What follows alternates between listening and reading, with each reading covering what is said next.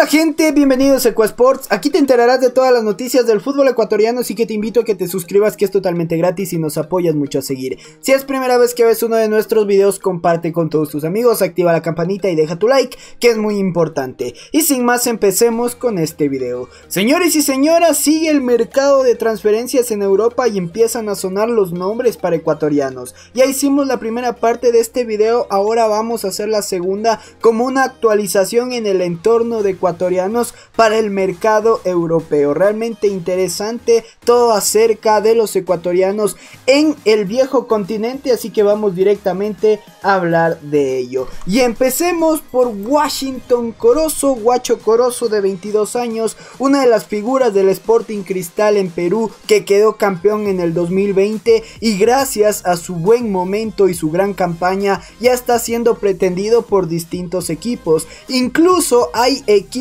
en Europa que están buscando el fichaje de Washington Corozo. Llamó mucha la atención gracias a su muy pero muy buen aporte en el equipo campeón de la liga peruana. Tanto así que equipos de Francia y también de Holanda están tras los pasos del joven ecuatoriano ex Independiente del Valle. Y el Angers está buscando el fichaje del ecuatoriano, el Angers de Francia, que está en la séptima posición de la League One, ya preguntó al Sporting Cristal acerca de Washington Corozo. Aproximadamente su ficha está de 3 a 4 millones de dólares, eso es lo que tienen que pagar para llevarse al ecuatoriano. Y ya les digo, este club francés está muy interesado en llevarse al joven ecuatoriano. Otro equipo también interesado es el PCB, que fue el primer interesado en nivel europeo para buscar a Washington Corozo. Entonces, entre Holanda y también Francia son los destinos europeos que tienen carpeta. Guacho Corozo también tiene distintas opciones de otros países e incluso el Sporting Cristal también maneja la posibilidad de no venderlo porque saben la condición y saben que si puede hacer una muy buena temporada su valor subirá y venderlo más caro como negocio para el Sporting Cristal. Veamos si es que termina pasando. Estos dos equipos están interesados. Varios medios confirmaron esta noticia.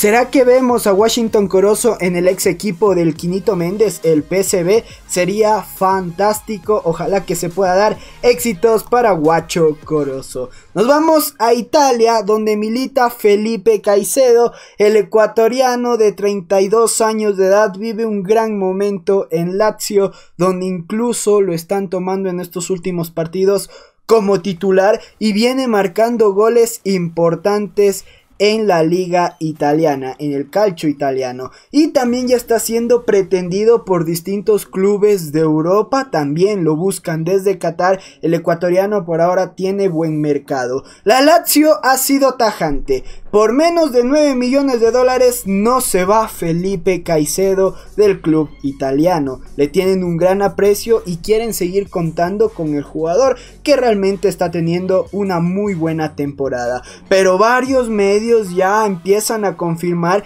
que distintos equipos de la misma liga italiana están sondeando a Felipe Caicedo. Están tras los pasos de Felipao quieren ver si es que pueden contar con el ecuatoriano en este mercado de fichajes. Uno de ellos es la Fiorentina, que ya se confirmó cuál fue su propuesta. 5 millones de dólares puso sobre la mesa para llevarse a Felipe Caicedo. La Fiorentina que está en el puesto 14 en la Serie A. Entonces es una posición un poco complicada. La Lazio está en la posición número 7. No sé si este sería el destino ideal para Felipe Caicedo, pero sabemos ya el interés confirmado de la Fiorentina. Todo esto también dependerá primero de Lazio y después del gusto de Felipe Caicedo en una posible e hipotética salida. Creo que es una de las opciones más alejadas que tiene el ecuatoriano. Otro equipo que también sonó y fuerte en estos últimos días es el Inter de Milán. Diarios conocidos como el Marca y distintos medios confirman esta noticia.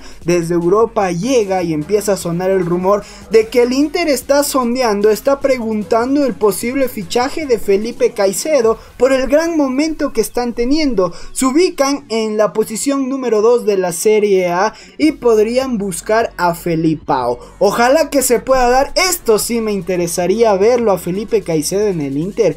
Sería muy pero muy bueno. También esta opción es un poco alejada según lo que manejan los diarios. Es que tendrían ofrecido 7 millones de dólares para Felipao. Pero ni la propuesta ni de la Fiorentina ni del Inter llegan a los 9 millones que pide la Lazio. Entonces, por ahí los valores distancian su posible fichaje. Aún no hay nada cierto. No se sabe si el Inter o la Fiorentina subirán sus pretensiones o si al final se queda en la Lazio, todo esto dependerá en los próximos días. Así que veamos qué pasa con Felipe Caicedo. Una novela y una gran novela que se ha montado alrededor de este jugador, Moisés Caicedo, que sonó muy fuerte para el Manchester United, donde incluso el vicepresidente confirmó que el Manchester United tenía interés por Moisés Caicedo, pero que por motivos distintos al final decidió desistieron de su fichaje, pero varios equipos de la Premier League están tras los pasos del ecuatoriano, del niño prodigio, de una de las promesas más grandes del fútbol sudamericano, donde ya lo demostró con la selección ecuatoriana de fútbol. Moisés Caicedo tiene todo arreglado para llegar a un equipo de la Premier. Esto no lo digo yo, lo confirma un mismo directivo de Independiente del Valle, que Moisés Caicedo llegará a la Premier. ¿Cuál será el equipo? Ahora eso no se sabe al 100%, pero ya tenemos por ahí varias ideas. Uno de ellos es el Everton. Habría ofrecido ya una cantidad de dinero al Independiente del Valle para llevarse a Moisés Caicedo, que también está muy interesado en el ecuatoriano, en el niño prodigio, en la joven promesa sudamericana. El Everton, realmente un gran club que fue a inicios de la Premier la revelación, que ahora mismo se encuentra en la posición número 6, pero que de igual manera es un gran, gran club con grandes jugadores y que sería un gran destino para Moisés Caicedo. Ese es uno de los dos equipos que suenan con fuerza para llevarse a Moisés, pero por ahora el que más suena el que más tiene posibilidades, el que más ha sonado prácticamente ya como equipo de Moisés Caicedo es el Brighton. El Brighton donde ya tuvo a un ecuatoriano donde tiene buenas relaciones con Independiente del Valle, también entró en la puja por Moisés Caicedo y al parecer esas buenas relaciones terminaron valiendo más para llevarse al ecuatoriano.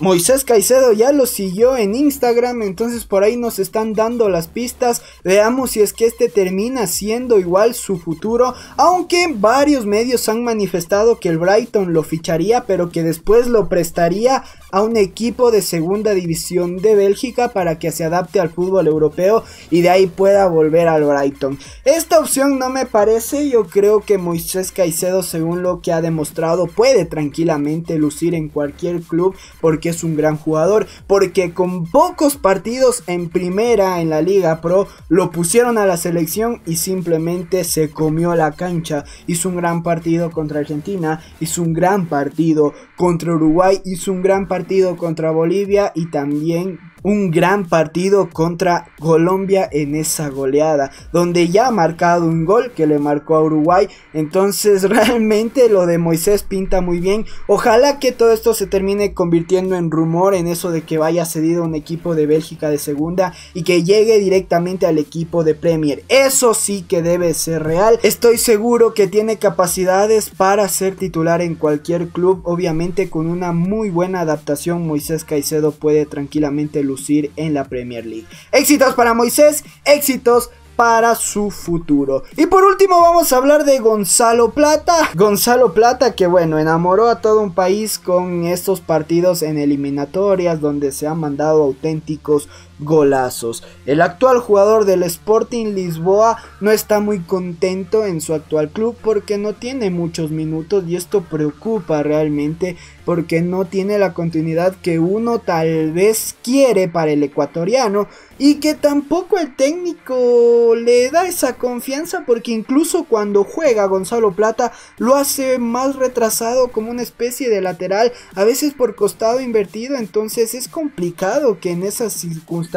pueda brillar Gonzalo Plata cuando sabemos que la posición de él y donde triunfa en Ecuador es en el extremo derecho. Estos últimos partidos ha tenido más continuidad, eso es lo bueno, ojalá que siga siendo así, pero también empiezan ya a barajar distintas opciones para llevarse al joven ecuatoriano. Saben del talento que tiene y saben que puede ser aporte en otro club. Entonces, desde España han llegado dos ofertas. Una de ellas es el Cádiz. El Cádiz está muy pero muy interesado en Gonzalo Plata. El Cádiz que se encuentra en la novena posición de la liga estaría muy cerca de llevarse al ecuatoriano. En condición de cedido. Ojo, el Sporting Lisboa podría ceder a Gonzalo Plata. Pero una venta no quieren ni escuchar. Entonces una venta completamente descartado para Gonzalo Plata. La única manera que pueda salir es en calidad de cedido. Y por ahí tiene las negociaciones muy adelantadas el Cádiz. Así que no les sorprenda ver a Gonzalo Plata en la liga en condición de cedido. Ojalá que se pueda dar.